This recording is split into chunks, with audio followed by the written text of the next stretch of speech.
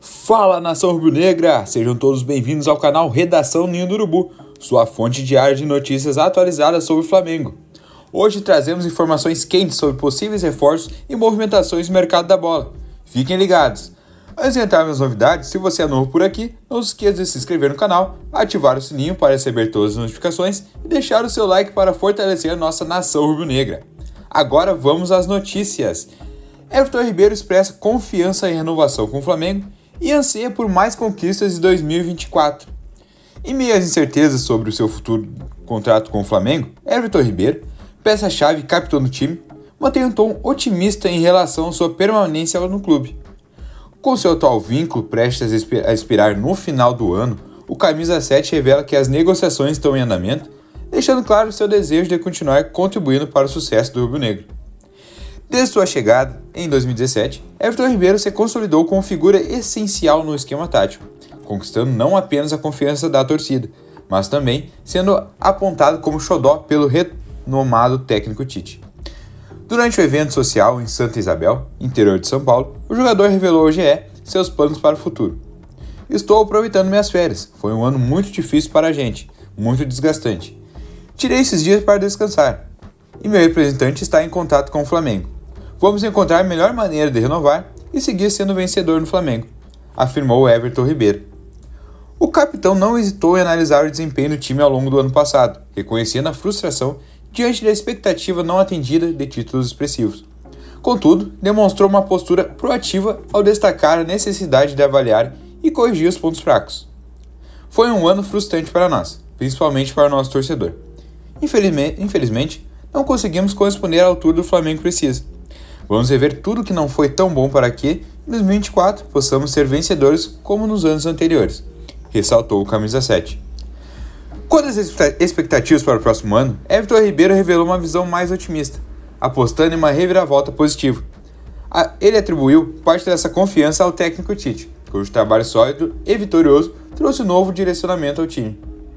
O professor Tite deu um norte para que, em 2024, seja melhor, terminando o ano com uma prospecção muito boa, um time sólido e difícil de ser vazado. Trazer um treinador tão vitorioso como Tite foi um acerto muito grande. Espero e acredito que 2024 será um ano excelente para o Flamengo, concluiu Arthur Ribeiro, projetando um futuro promissor para o clube carioca. Vamos agora a outra notícia da última hora, nação. Fique aqui no vídeo e mostre seu amor ao, ao Flamengo. De La Cruz revela emoção na despedida e confirma a chegada ao Flamengo em 2024 a torcida do Flamengo já pode se preparar para uma temporada repleta de emoções em 2024, pois o clube está prestes a assegurar a contratação do talentoso jogador uruguaio Nicolas de la Cruz. O meio-campista, peça-chave do River Plate, emocionou-se ao falar sobre sua saída e confirmou sua chegada ao Mengão. Após encerrar o ano de 2023 sem adicionar nenhum troféu à sua galeria, o Flamengo está determinado a retomar o caminho das vitórias. Além de manter o Tite no comando e preservar todas as peças essenciais do plantel, o rubro-negro planeja investir significativamente no mercado de transferências para fortalecer ainda mais a equipe. Enquanto as negociações com Léo Ortiz e Matias Mina estão em estágio avançado, a situação de De La Cruz é distinta. O Flamengo está disposto a pagar a multa rescisória ao River Plate argentino para garantir a contratação do habilidoso jogador uruguaio. Como noticiado, anteriormente pelo Bola VIP Brasil, De La Cruz encerrou sua trajetória pelo River Plate com chave de ouro contribuindo para a vitória da equipe 2 a 0 sobre o Rosário Central em seu último jogo, conquistando mais um título. Emocionado com a despedida, o Camisa 11 concedeu uma entrevista à TNT Sports Argentina, revelando o peso da decisão de deixar o clube, que o acolheu por seis anos e meio. Foram seis anos e meio, mas quais foram fui crescendo e aprendendo. Estou saindo do River Plate no melhor ano da minha carreira. Foi uma das decisões mais difíceis da minha vida. No lado pessoal, eu precisava de uma mudança de áreas, mudar um pouco o que vinha fazendo. Sai daqui muito maduro e muito agradecido, declarou o jogador.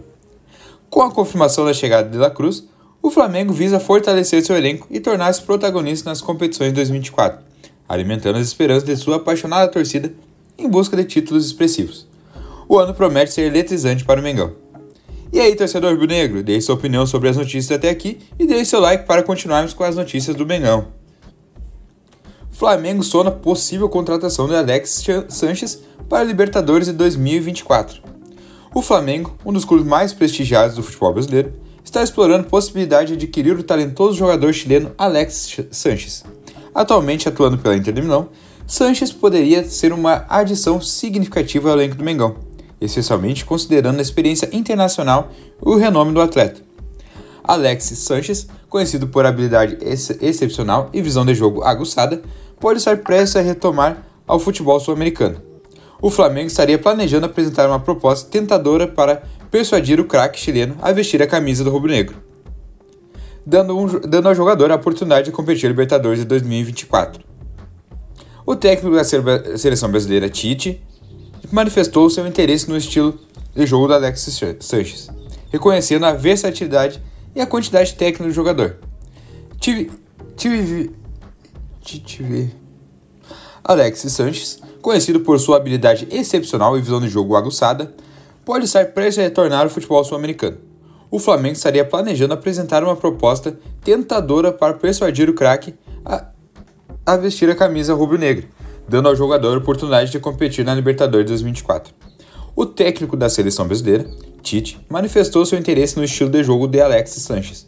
Reconhecendo a versatilidade e a qualidade técnica do jogador, Tite vê em Sanches uma peça valiosa que poderia fortalecer não apenas o Flamengo, mas também contribuir para o desenvolvimento do futebol brasileiro. Além de sua passagem pelo Inter de Milão, Alex Sanches deixou sua marca no futebol europeu ao jogar por, pelo Barcelona. Durante sua estadia no clube catalão, Sanches compartilhou o campo com lendas como Neymar, Messi e Soares. Essa experiência internacional e sua habilidade com a bola podem ser fatores determinantes para atrair o Flamengo. Vale ressaltar, ressaltar que não há negociações oficiais, mas fica uma expectativa muito grande para os torcedores do Mengão. Fique ligado para as próximas atualizações, pois o Redação Ninho do Urubu continuará acompanhando de perto os rumores e as movimentações do Flamengo no mercado de transferência. Será que Sanches irá vestir a camisa do Mengão? E assim encerramos mais uma edição do Redação Ninho do Urubu, com as últimas notícias do Mengão. Fiquem ligados para as mais atualizações e novidades sobre o Flamengo. Se gostar do conteúdo, não se esqueça de compartilhar e acompanhar as nossas redes sociais. Se inscreva no canal se você é torcedor raiz do Mengão. Até a próxima, Nação Rubro Negra. E vai, Flamengo!